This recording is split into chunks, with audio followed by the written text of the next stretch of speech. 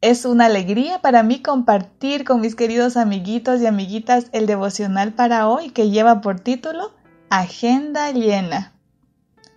El versículo para memorizar se encuentra registrado en el libro de Proverbios capítulo 6 versículo 9. Basta ya de dormir, perezoso. Basta ya de estar acostado. Ojalá que tú seas bien organizado, de las personas que les gusta ordenar sus propias cosas y siempre servicial. Pero hay muchas personas que no son así. Basta que la madre le pida guardar los juguetes para que conteste, ahora no puedo. El padre le pide una herramienta y escucha, estoy ocupado. Y a veces ni siquiera llega a ninguna respuesta.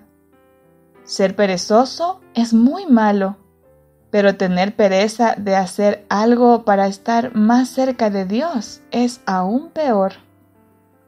Nunca dejes que la pereza te impida orar, cantar o participar en una actividad que te hará relacionarte con Dios.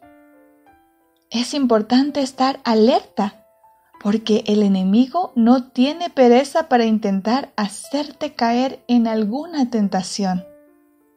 Después de este maravilloso mensaje, te invito a que cierres tus ojitos, juntes tus manitas para hablar con Dios.